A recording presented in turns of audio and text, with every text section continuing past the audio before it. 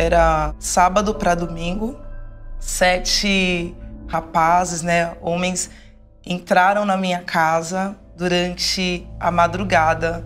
Eu estava dormindo e daí eles me renderam, me amarraram, me agrediram. E era um contexto assim que a gente estava vivendo, que eu estava pesquisando o extermínio da juventude negra, né? Tava lidando com a morte.